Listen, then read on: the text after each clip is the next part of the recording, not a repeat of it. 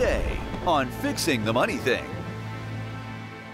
The title of our series is Shadow Wars because if you know it or not, you are in a war. And you can try to ignore it, but you are in a conflict. Now, we're talking about a spiritual conflict. Obviously, there's a lot of conflicts happening here, but uh, the spiritual side of things, I believe, is motivating a lot of what you're seeing happening in the physical realm. Shadow wars. Now, our key scripture that you need to understand and you need to learn where it's at 1 Peter chapter 5 verse 8. Get your Bible out, your notes out. You'll need this. Be alert and sober minded. Your enemy, the devil, prowls around like a roaring lion looking for someone to devour. The King James Version says, Be sober, be vigilant, because your adversary, the devil, is as a roaring lion walking about seeking whom he may devour. Now, the Bible clearly tells us that you have an adversary. Do you know? Did you know that? His name is Satan, the devil, Lucifer originally. We talked about that in the first section of this series. But you have an adversary. His intent, Jesus said in John 10 10, is to kill, kill steal, and destroy. To who? To you. He hates God, despises you. You're made in the image of God. So we know we have an adversary, but Peter tells us we must be alert. Now, first, you have to recognize you have an adversary to be alert to begin with. And as I said in the first part of the series, the large majority of the population doesn't even believe there is a devil or any kind of spiritual conflict. They don't believe there's a heaven or hell. Well, they're already done. Unless you, have, unless you recognize you have an adversary, you're not going to be alert, are you? So Peter says to be alert and sober minded. Keep the, your wit, keep, keep, keep your perception uh, looking and being perceptive of what's happening around you spiritually. Be alert, kill, stealing, and destroying. But notice the Bible says here in 1 Peter chapter 5 that he's roaring as a lion, but he is seeking whom he may devour. You see, Jesus stripped him of all authority. Back in the prophetic of Genesis chapter 3, when Adam fell, God told Adam and Eve that his head would be crushed by the seed of the woman. He has no teeth, he has no authority. But he, you know, you can be afraid with a roar, right? Because you've been trained to be afraid of a roar. And unless you know legally where you stand and that he doesn't have teeth, you'll back up. And you need to understand his tactics to gain entrance. So I remember one night, probably about three in the morning, a friend of mine, young man, called me. I couldn't understand who he was at first. He was basically hyperventilating, and he was almost screaming in the phone.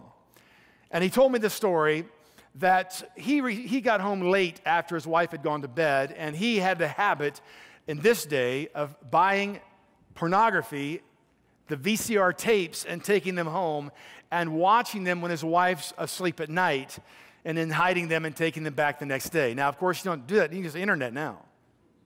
It's much more deceptive.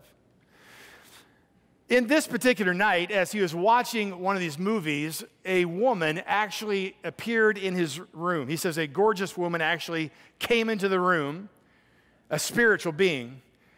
And as he was looking at her, all of a sudden she changed into a hideous demon. He said he ran to the corner of the room and just covered, his, covered himself and just shook in fear. And then he called me. I believe the Holy Spirit was unveiling the, the truth behind what he thought was something harmless and something beautiful, but I believe God was showing him, no, you need to understand this is a plot for your life. You need to see what's behind this. And this is how the enemy works. He sets a masquerade up, a deception. We're going to talk about that today. So, how did, how did Satan gain authority over Adam and Eve in the beginning? Because we know that Adam and Eve had all authority, right? And that they had the ability to rule over the entire earth on behalf of the government of God. So, how did Satan get the authority? Adam had to give it to him. You said, no, he didn't take it. He said, no. Yeah, Adam gave it to him. I said, Adam gave it to him. Now, he was deceived, or actually, Eve was deceived. They chose to give it to him. They believed Satan instead of God, and they followed after Satan instead of, they gave him the authority. Now, this is how Satan operates. He has no authority, but he wants your authority and he wants to kill, steal, and destroy. He cannot unless you forfeit your authority. Now, we're going to talk about that. It's going to help you. You're going to be glad you were here today. I know that for a fact. So he deceived Eve. Amazingly, let's read the scripture out of Genesis chapter 3, verse 6. When the woman saw that the fruit of the tree was good for food and pleasing for the eye, and also desirable for gaining what? Wisdom, she took some and ate it, gave some to her husband. This is kind of crazy.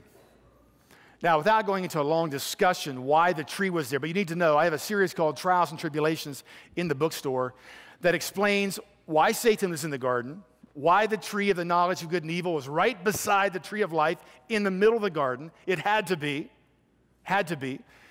So you need to understand the legal side of what's happening here.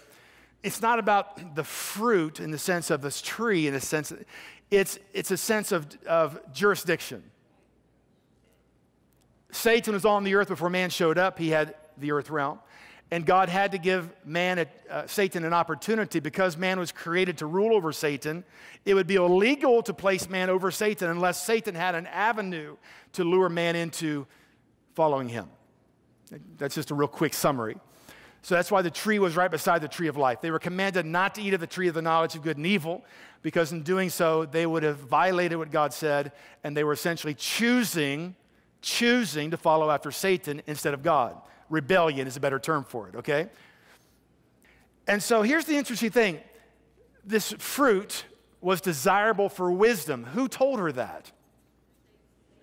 Satan did. Funny thing is, she already had all wisdom.